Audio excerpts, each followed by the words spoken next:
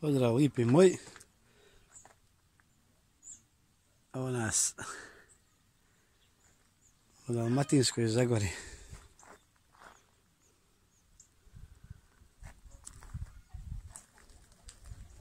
Tako da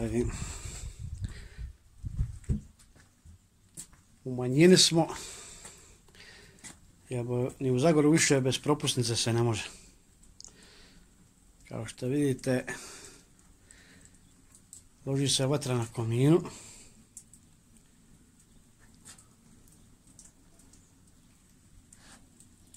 A sprema se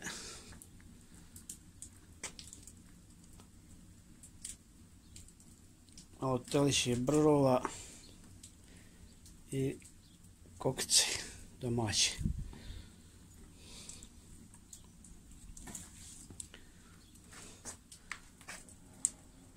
Tako, oni ko nema propusnicu ostaje kući. Ivan, di si? Ivane!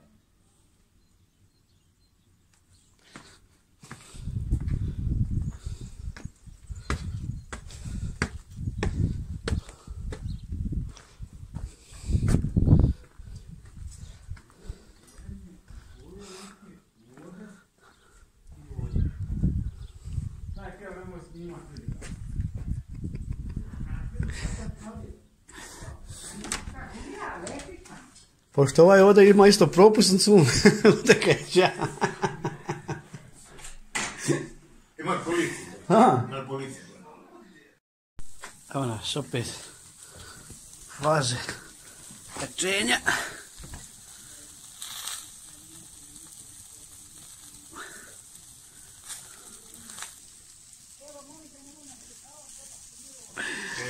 Vidiš, pije se domaća rakija. Rakija je. Domaća To je rakija. ti je dezinfekciju iznutra i izvanka. Tako je, protiv korone ti je ovo.